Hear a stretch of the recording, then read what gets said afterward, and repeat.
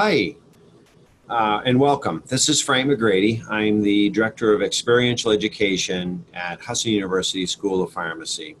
Um, today, I would like to deliver a video of what's happening, or video or a recording of what's happening with preceptor development pearls. This is uh, primarily intended for people who are looking to gain some skills or a new preceptor or would like to have a chance to uh, learn some new skills and how they might set up a preceptor uh, situation for our students to come. As we know, students uh, coming to our sites are a pretty awesome thing, but they're also a big responsibility. I'm going to go through this presentation today uh, somewhat rapidly because there's not an audience out there to to interact with too much. I'll try to add some anecdotal information that I have had heard in the past. But in general, we're going to try to get through this in maybe, I don't know, 30 or 40 minutes. Um, there is a chance to get uh, CE credit for this if you'd like to. Um, and also ask us questions if you need to. We are uh, available here at Husson uh, all throughout the year, uh, Monday through Friday, and other chances, uh, depending on what has to happen in an emergency, we can be helped as well. So, Preceptor Development Pearls by Frank McGrady. Um, what I'd like to do is to have you um, understand a few different things that we're trying to do. Um, there's pearls that we'll talk about. We'll also talk about how to have a positive preceptor experience. We want to talk a little bit, and I'm going to do that first, about the Accreditation Council of Pharmacy Education 2016 uh, standards. Um, I'll only say, and then we'll have some questions at the end. But primarily, what I want to do it, with the Accreditation Council of Pharmacy Education is just to say there are some new standards that have been set up, and I'm going to record a video for that. So please view that to talk about some of the differences in the past and some of the differences that uh, colleges of pharmacy are now being held to in, in regards to pharmacy education uh, for, our, for our future pharmacists the 2016 standards really are, are, are, a couple different things. One of the things they've added is a lot of talk about interprofessional education. A lot of people are doing that already with interprofessional uh, collaboration. I, I, know in the hospital I was in, we were doing a lot of that every day. We get together with all of the, the physical therapists, the occupational therapists. We get together with nursing, physicians, providers, uh, nutrition, social work. There, there's a lot of people that get together collaborate every day to benefit a patient. That stuff needs to be uh, taught a little bit more in pharmacy school. So we're really uh, uh, doing things here, which we can go into later, that are that are coming through with that. Some of the other standards have listed that um, the interprofessional, the um, sorry, the introductory or IPPE, inter, interprofessional pharmacy practice experiences, are now called pre-APPE experiences. Is to get them ready for their advanced pharmacy uh, practice experiences during their fourth or last year when they're out doing um, visiting sites and uh, working at sites for six week rotations here at Husson. And so we're trying to create a, a culture where the IPPEs prepare you for the APPEs, which prepare you to be a practice pharmacist. Um, you can't have knowledge of everything out there, but the process should be clearly indicated. It should be clearly measurable, and it should be ready for pharmacists to get out there hitting the ground. They, they won't be specialists in cardiac care or ID or anything, but they should definitely have an experience with how to evaluate a patient and how to make recommendations for that patient and to, and to communicate clearly with them. A couple of the other things that the uh, 2016 standards have have indicated is one is that they really want us to work hard on the reflective process uh, of being lifelong learners. We have in all of our rotations, each week they have to complete a reflection document. And this document is really to kind of say what they did last week, what they're going to do the next week, and how that affected them and what they might do when they practice going forward. Uh, the example I use a lot of times is, is when you go out to a restaurant.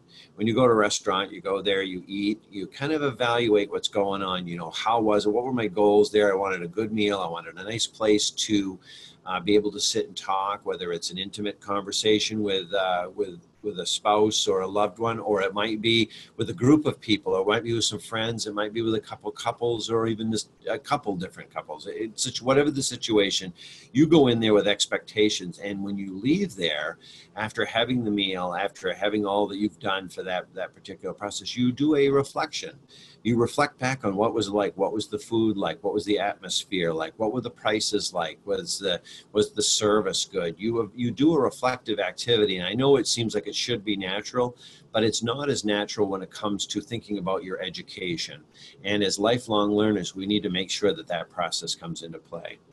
These standards have also um, outlined a lot of different other things that are more um, on the line of what stool, schools need to get ready to have them uh, students be prepared to go out in the practice rows. And we'll talk about that on, uh, on another video. So the objectives I've listed here, um, I'm going to read them. Normally I don't read them, but I'm going to read them here for you. Objectives, discuss the expectations of the preceptor by the School of Pharmacy for IPPEs and APPEs. Number two, discuss the expectations of the institu institutional site directors. That's the people at the actual site for the preceptor and the pharmacy technician staff. Number three, discuss the expectations of the IPP and APP students by the School of Pharmacy and the institutional preceptor. Recommend options. Number four, recommend options to attain the expectations of all parties involved in the IPPE and APP pharmacy student experience, uh, experiential experience. And number five, recommend options to all uh, the institutional staff, but not limited to the pharmacy technicians, ancillary staff, planning, implement, and, and the planning and implementation of the pharmacy student experience. So, first things first. Uh, it's no different than setting up a business where it's location, location, location. Here, it's if you want to have a successful experience, you must prepare, prepare, prepare. Because when the students come to your site, you don't you want to hit the ground running. You don't want to be scrambling because you're most people who are preceptors are not from the school of pharmacy where it's their only not their only job but one of the jobs they do. Most people who are precepting already have jobs. They have full-time jobs. They have very busy jobs. So you have to prepare ahead because you sometimes can't do that on the fly. So where do we start? Here's a list that i listed on here and we'll go through a lot of these. These are the expectations for the preceptor do you know what the pharmacy school is looking for? Your director of pharmacy, your own pharmacy staff, the hospital staff? How about what, what the expectations of the student are? How about preceptor training, student training, workspace, anything else that might affect your ability to effectively precept a student?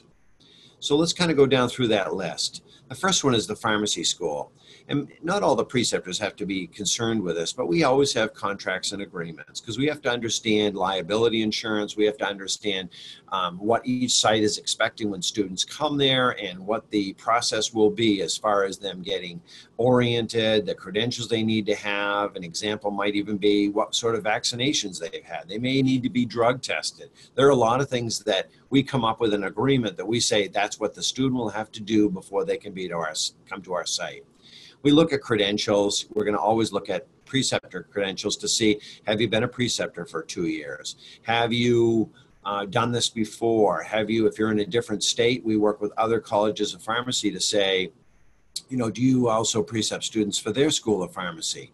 What sort of training do you need?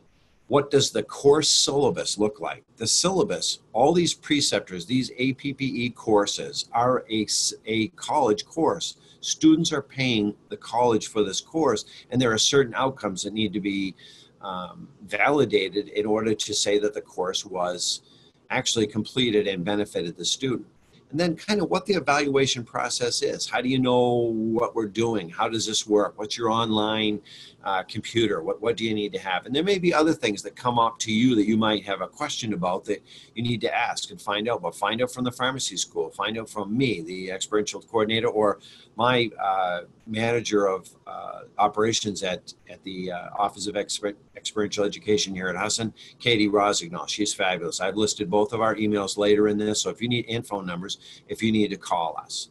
Next, we want to know if you're at a if you're at and this may seem like it's just for hospital but it's not for hospital this is for any site there are some things that are that are particular to hospitals and some to community pharmacies but what does your supervisor expect of you when, when will students be assigned? How many students are expected per year? What support will you be given?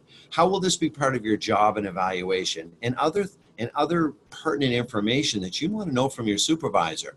Because if your supervisor doesn't give you good support on this, then this could affect your experience. This could affect the experience for the student, and it could be it could be a tough situation for everybody, and that's not what we're looking for. So you want to make sure that you understand what your supervisor has outlined for you, because I know they don't want you to drop off in your uh, ability to do, to do your job, but they also understand how important it is to to uh, um, uh, educate the next generation. How about the pharmacy staff? You got to check in with all of them. You got to check in with your technicians. Your technicians are going to play a key role in education of pharmacy students um, because technicians are such an integral part of what we do and such an important part. I like to call them in my hospital lab that I teach here at the university. I teach them, it's called, I call them gold because without the gold you can't do the cool stuff if those technicians aren't taking care of all those those tasks that need to be completed every single day for compliance for uh, supply for everything that needs to be done in documentation especially in billing uh, if you don't have all that stuff done, if your technicians don't do that, then you can't do the cool stuff. But on the other side, you can't just throw a student at them and say, here, teach them everything you know. Outline it, decide how you want it to work. Make sure that they understand what their role in this is and are they going to be able to accommodate what you're looking for. If you have a pharmacy manager, if you're not the pharmacy manager, you have a manager for either a department or for a, uh, a district or even for a, um, an area like a hospital and check in with them. Make sure that they're on board. What are their expectations when the students there? Some people say we only want the students on site in the morning. We only want them in the afternoon. And you have to clearly articulate what's going on with the student what the expectations are to the manager and another person would be a pharmacy specialist. This might be more like uh, what's going on in a hospital. Um, we might want to talk with a clinical pharmacist the iv pharmacist. Again some of this is um, uh, related to hospital, but the other might be your partner in pharmacy. If you're in a, a, community retail or an ambulatory care situation, you may want to make sure the other pharmacists who you work with that they also understand what their expectations are, so that the student may be with other people. It's good for them to get a, as broad an experience as they can, but getting on board with your pharmacy staff and let them know what the plan is, what your expectations are, what their expectations are, will make everything run much smoother and give the student and yourself a very positive experience. And that's what we're really looking for. Also, I, I, I, wrote hospital staff on here, and I'm sorry to make this seem so geared towards hospital because I've been doing a few hospital experiences recently. But I want to make sure that your company or your hospital is on board. Does your CEO, your CFO, your district manager, your regional manager, are they all sure about what you're doing and what's what their what the expectations are from you and what your expectations are from them. In hospitals, we have nursing, physical therapy, occupational therapy, surgery, case managers, physician security. At retail, we may have a, a number of things with um, your front end managers, your managers of the store. Not, not all of them are pharmacy people, your technicians, your regional managers, your your uh, district managers, uh, you may need to make sure to interact with all these people to understand what the expectations they have of you and what you have of them, and to make sure that it's clear what the process is going to be. The more you do this ahead of time, again, prepare, prepare, prepare.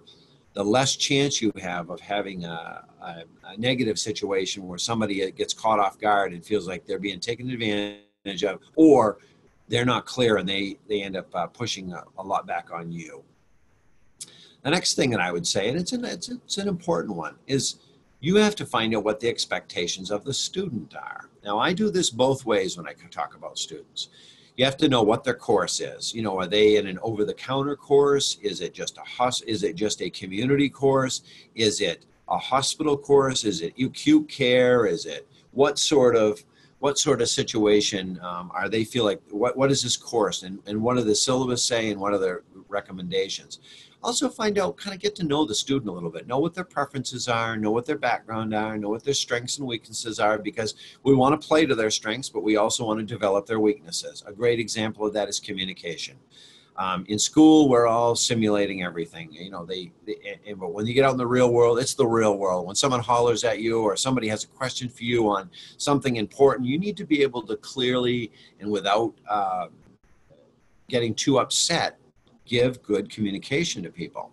You also want to know what block number they're on because a student in block one, two, or three is still learning in their process, or if they're an IPPE or APPE, it's earlier in their career, they may not know anything as far as drug knowledge. But as they move along, they should be higher expectations should be set. Um, and then what their past experiences will be. One thing I'll tell you under the other is that's this that I, I would find with it most preceptors forget to do. You want to be a nice person. You are a nice person. You are a preceptor. You've decided to to give some of your time to help somebody else, but you've also got to be the person that lays down the groundwork for this student. You have to let them know what the expectations are. Do not expect a student just to show up and expect that they're going to be professional in every way, that they're going to love this particular course, that they're going to try as hard as they can all the time. Many students will be, and some students will be such a, a high performer that you it's hard it's hard to give them enough material, and other students are not understanding your expectations and start to fall behind. You need to be ready to give feedback. Feedback is a very important process of precepting. If you're not able to do that, if you have a, a fear of doing that or you have some issue issue with doing that, you're going to struggle a little bit because the student will start to veer off the path and you'll get frustrated and so will they in the end. And it could come to a situation where you it may come to an impasse. And we don't want to get to that point. So lay the groundwork ahead of time. Prepare for it. Let them know what your expectations are. It's great to know what they want, what they're looking for, but this is a course you're teaching. You have a job. They are you are the preceptor, they are the students. So now we want to know what's expected of the preceptor. You know, what is the what do we need from the site? What does the site want? What does the pharmacy school want? You have two evaluations if you're an APPE student. You have one evaluation you need to complete for you're an IPPE student. You also have um, uh, documents that you need to make sure that they're doing. You have to find out what the course is. What are the expectations? You have to find out what the student has to do and what you have to do for the student. You have to verify hours. You have to sign off on hours. You have to find out what your strengths are. Make sure you know what you're strong with and don't just stick there. Also realize that you have to uh, take care of every bit of, of what you need to do. And if you feel like giving feedback is not one of your strengths, then we need to work on that. You need to really be ready.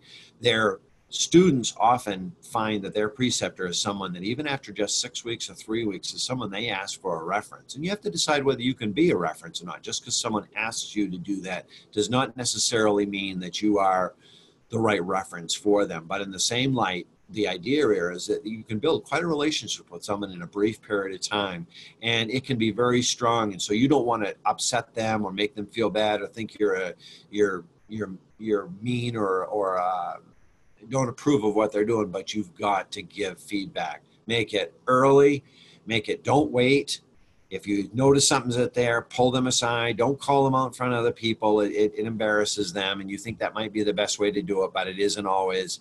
Um, but pull them aside and give your feedback, and expect them to not receive it necessarily great when they first get it, but they should come back and understand what the expectations are. Everybody should understand feedback. Feedback is a whole nother topic that we'll bring up. I've seen some great presentations recently on that. Know what your projects are that you're going to work on while they're there know what service you can offer to the department, to customers, to anybody uh, on your location. And then also know um, about what sort of education you're going to need. What are you going to need? Sometimes people don't become preceptors because they're like, well, I've been away from school for so long. I had that very fear myself. I thought these students are coming out, they're going to know the current guidelines, are going to know all this stuff. But you know, in the end, they don't know really what practice is like. That's the thing they need the most is to understand how to function in practice. As far as learning guidelines and doing things, you can kind of do that together and it's sort of fun. I mean, you can actually get them to teach you some things as long as you're not going to let your ego get in the way. You can learn a lot and they learn a tremendous amount for you just learning to function. And find out what other things might be expected of the preceptor. Here's some of my pearls work to your strengths. If you're in a clinical area that has a, a strong area, you have a strong expertise like um, like um, cardiology, or it might be infectious disease, or pediatrics, or you might be in management, or you might be in some sort of leadership. Um, use those as the key part to kind of direct what you're doing.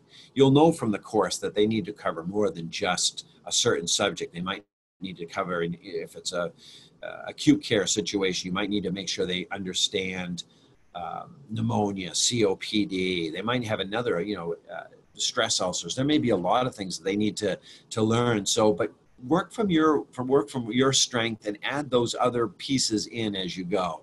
If you're really strong in the pharmacy uh, with uh, leadership and management teach them about that while you're there as well as their their clinical areas of expertise i know because when pharmacists come out and work in community practice or even in hospital practice they need to know the expectation of what their job will look like. Even if they're not doing it at the moment they need to know they have to be able to direct the technicians. They have to be able to work with problem patients. They got to work with problem insurance problems they have to look for when they're out of drugs, what they're going to, out of medications that patients might need, what they're going to do. Um, I would really avoid busy work. Don't just give them work to give them work. Try to find meaningful things. And again, if you prepare ahead of time, you'll have things that you want to know about. Tell me about these three new drugs. I got this drug recently and I'm not sure what to tell patients. Can you give me something I have to give them all the time? What are you doing for whatever scenario might be going on at your practice? And have them look it up.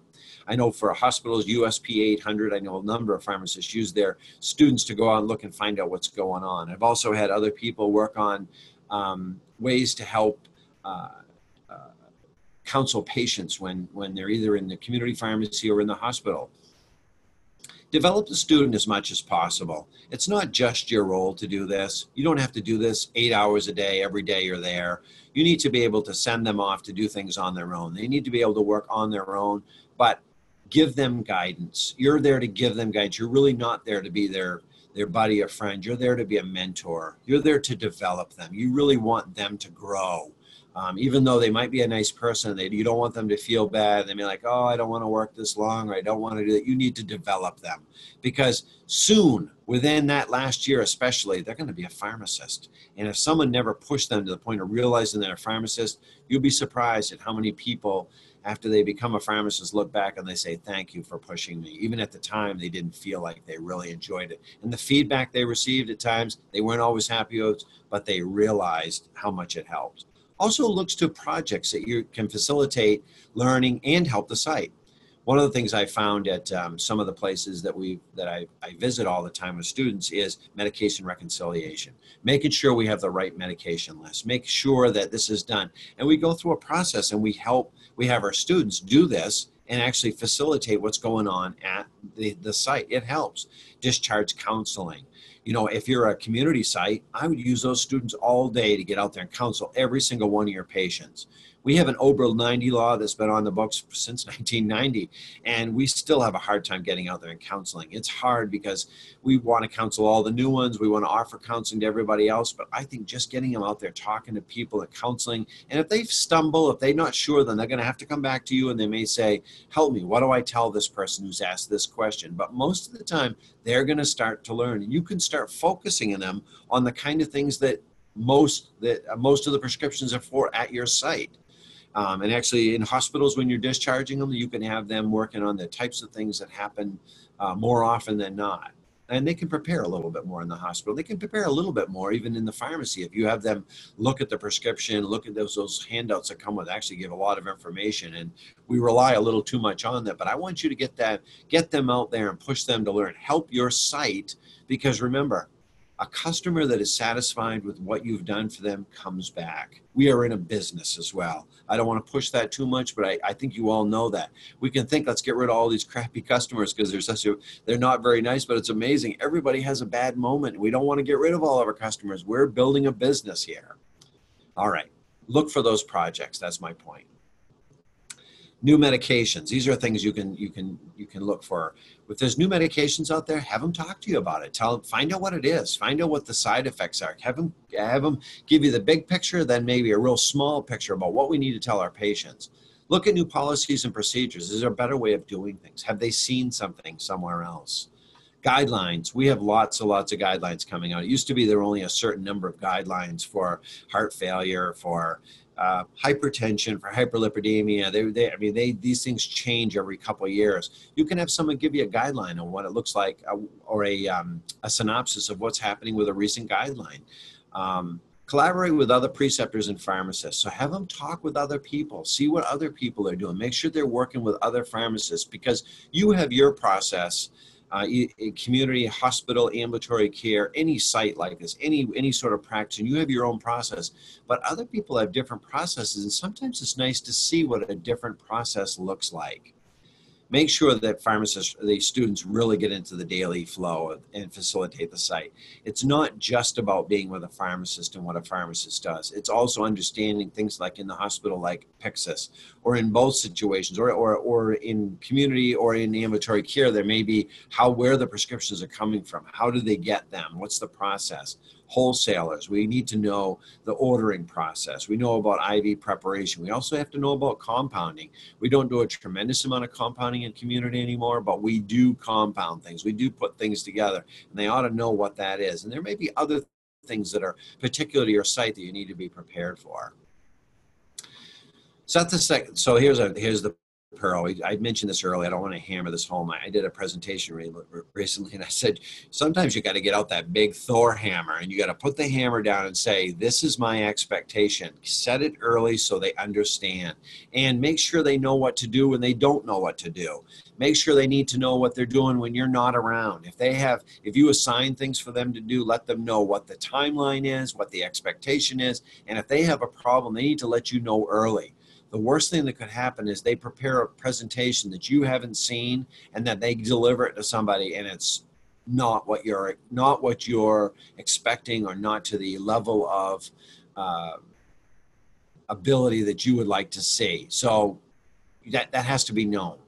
When asking questions of a student make it clear that they need to know what a pharmacist knows. I had a site once recently that said a pharmacist student went out, got all this information together, and basically it was what anybody else could have told that pharmacist. This is, and the pharmacist actually said this wasn't derogatory and negative, but they said this is what a doctor could have told me, this is what a nurse could have. I want to know this is about what a pharmacist knows. You need to go above and beyond the general knowledge. You need to know, impress that drug drug interactions, drug disease, a disease without a drug, a drug without a disease. Um, there are a lot of things that pharmacists have to look at. Are there adverse drug events? Are, is there is there a reaction that we're not seeing? Is there a is there an inadequate dose or is there uh, you know are we not targeting doses to goals? This is what pharmacists need to do. Pharmacy students need to know that.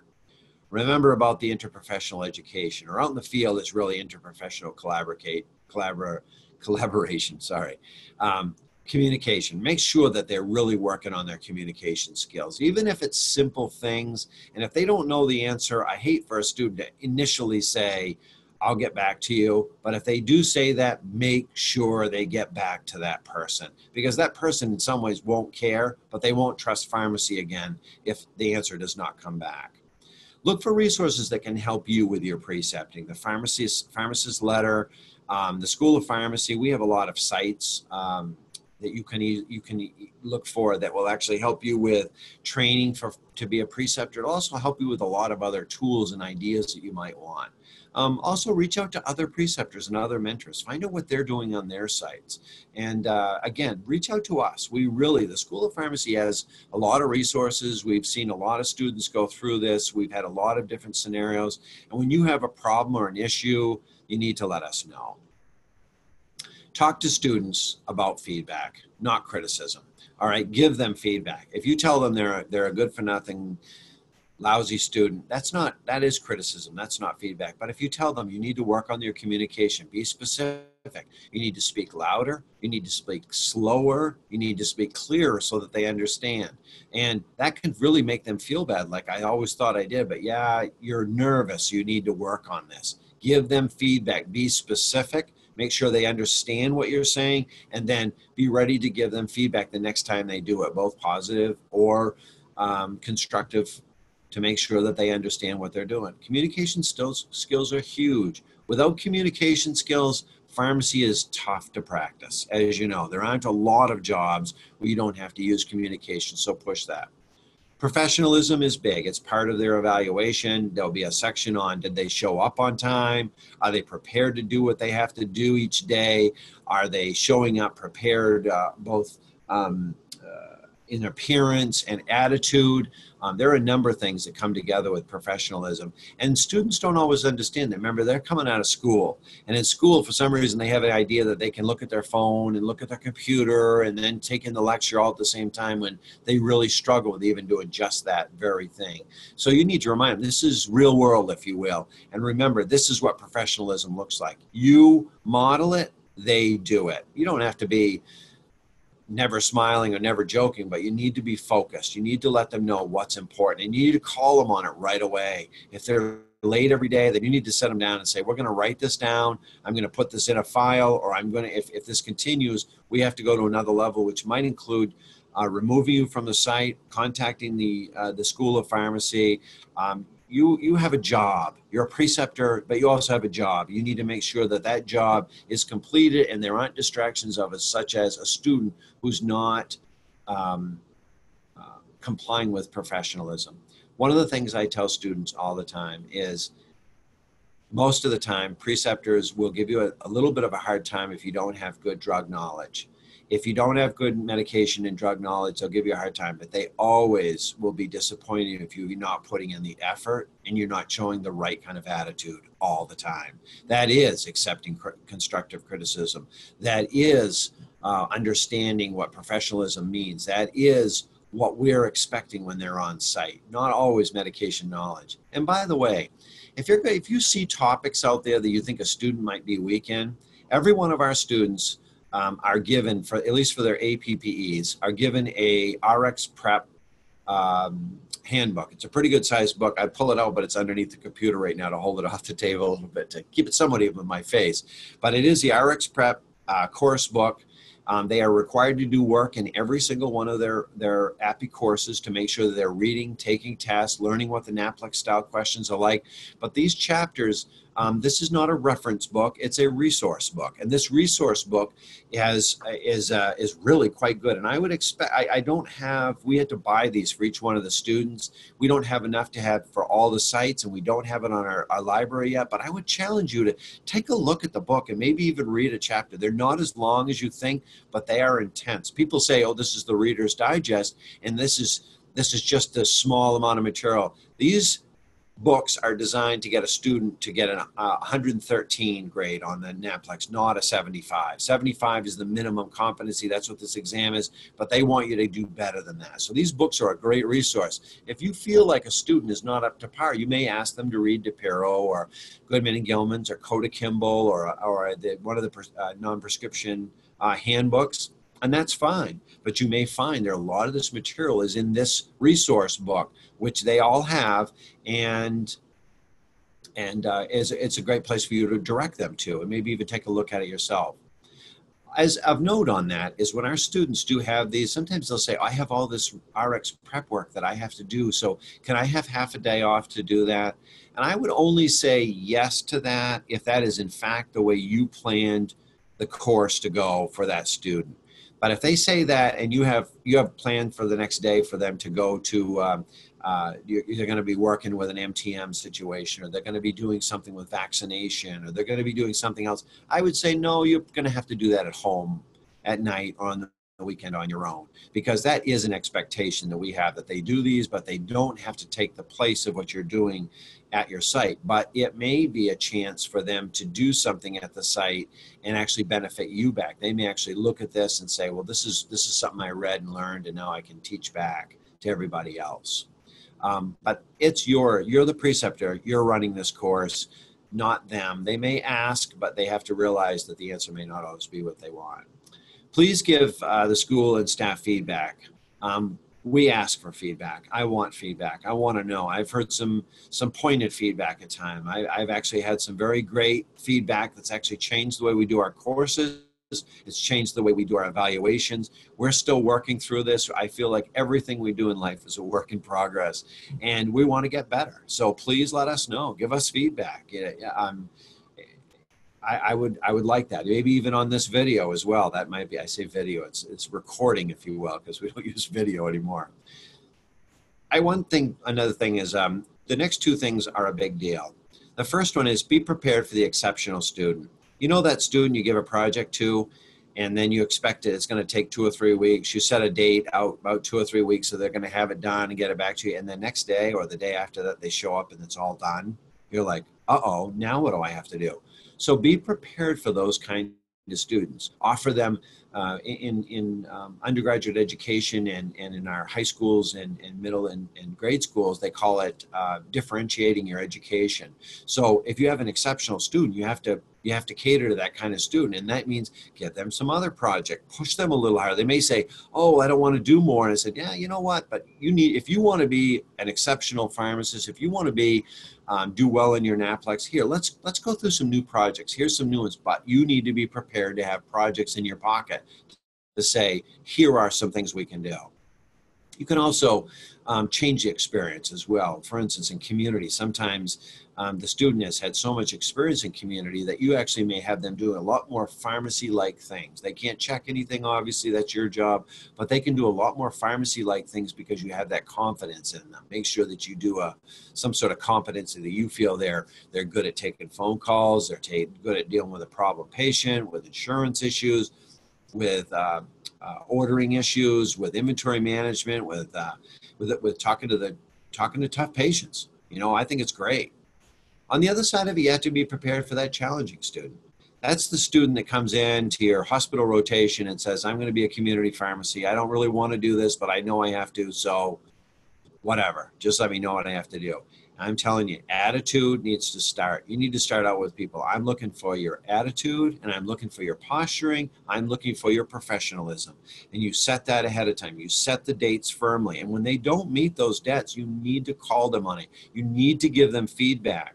Um, if they're if they're really a student that's very nervous, never been out, never done anything like this, and it's early in block one, two, and three, then you you might need to work a little bit more with them. You need might need to find a, a process that helps them and and try to get some other uh, people to help you with that person as well. And they may need to step back from some of those challenging things you've had them do and work on some other things. But be ready for the challenging student.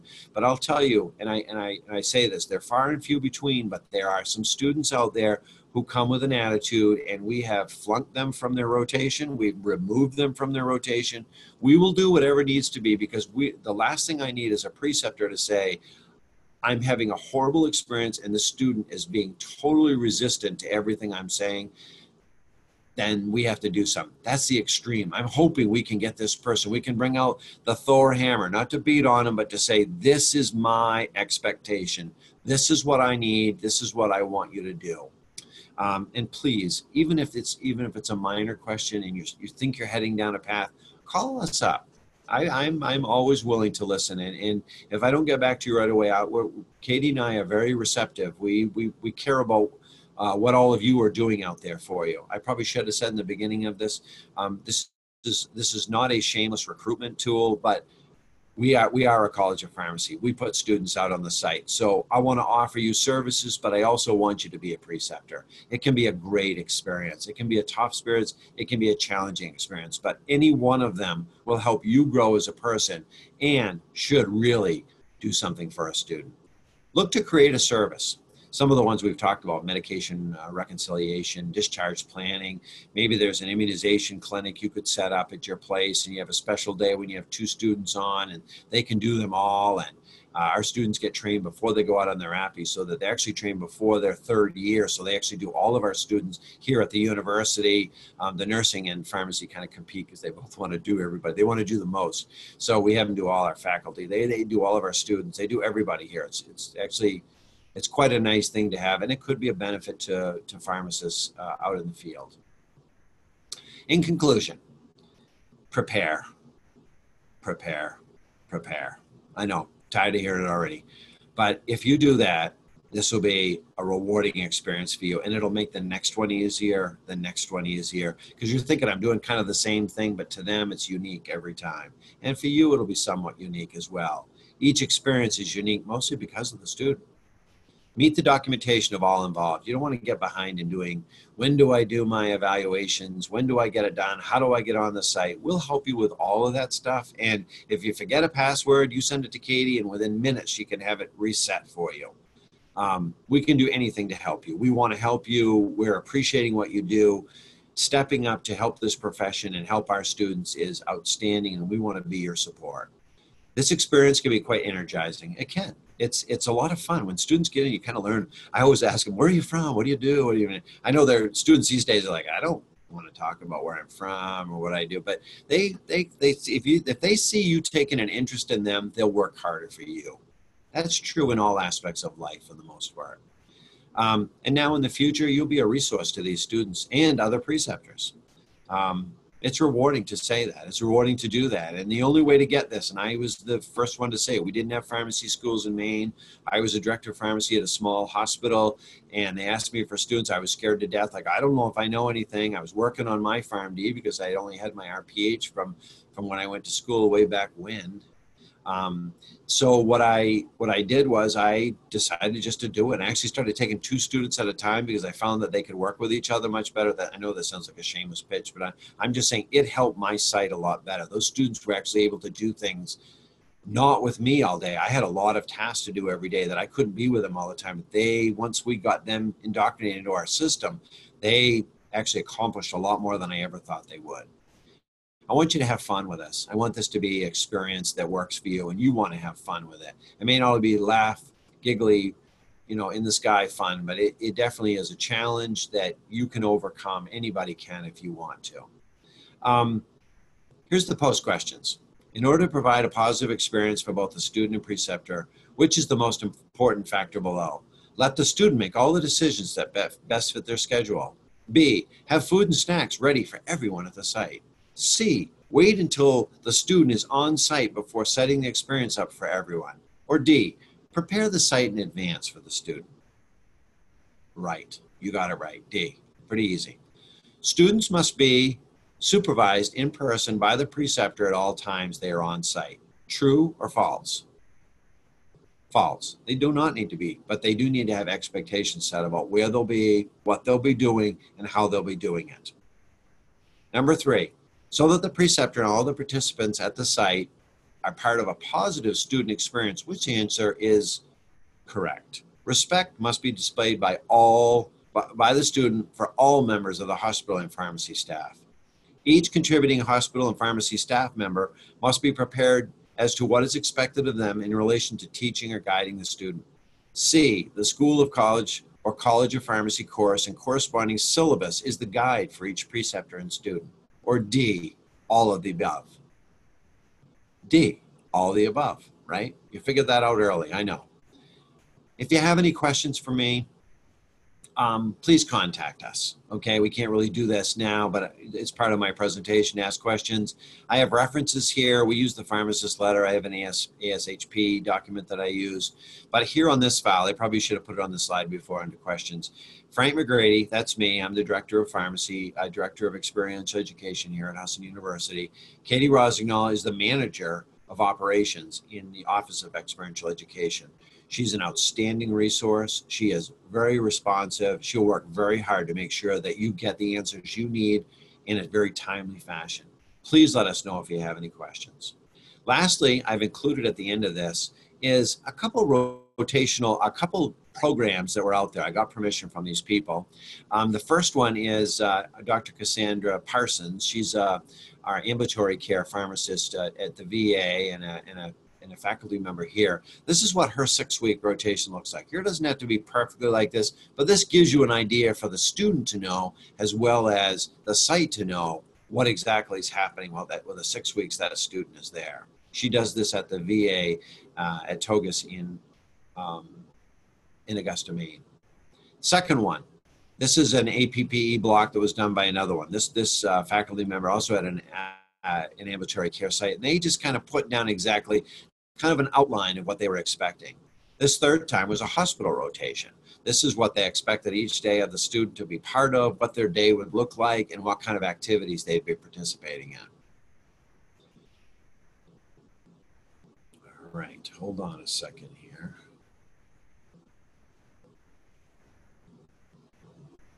No, I'll just leave it there.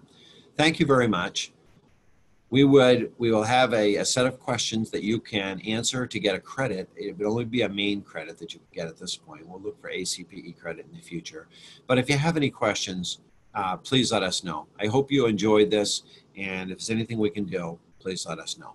Thank you.